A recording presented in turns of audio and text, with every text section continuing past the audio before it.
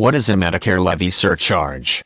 The Medicare levy surcharge is an extra tax levied on Australian citizens who earn above a certain amount of income and do not have private health insurance.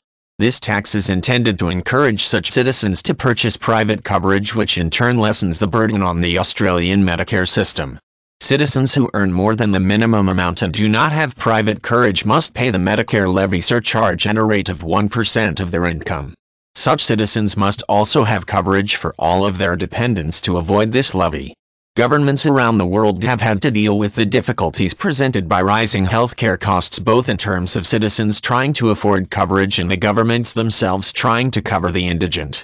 One such solution often chosen by governments is to penalize the wealthier individual of the country who do not have health insurance.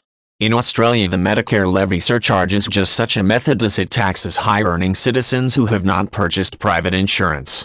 Although the limits are subject to change depending on the prevailing economic situation the minimum is of 2010 for one year earnings for a single person in Australia to qualify for the Medicare levy surcharge was $77.000 Australian dollars. This limit rises to $154.0 Australian dollars for a married couple and any earnings above that would incur the levy if no private insurance is purchased. In addition coverage is required for each dependent of the person or couple. After the first child each subsequent child adds $1.500 Australian dollars to the limit giving a little more leeway for larger families to avoid the tax. Most Australian citizens must pay a Medicare tax each year which as of 2010 stood at 1.5% of the taxpayer's income.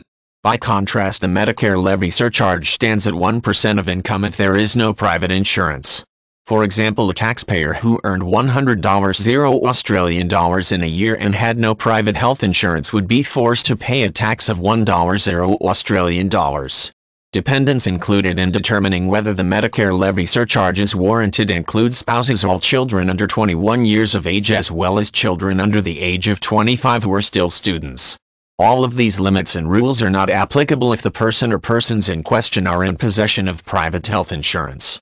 Those who don't have it must pay the levy or be subject to the scrutiny of Australian tax officials.